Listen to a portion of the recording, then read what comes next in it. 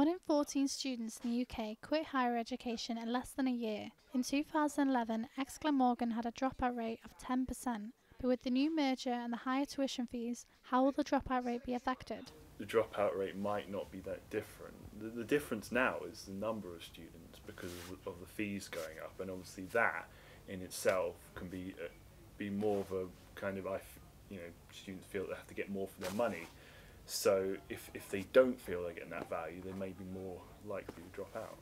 People seem to want to get more value for the money out of the course. They want to get other experiences, and it kind of it seems obvious that if you're paying more money, then the decision to drop out you're going to think of a lot, lot more in detail. Rachael Anne Roberts, Atrium News, Cardiff.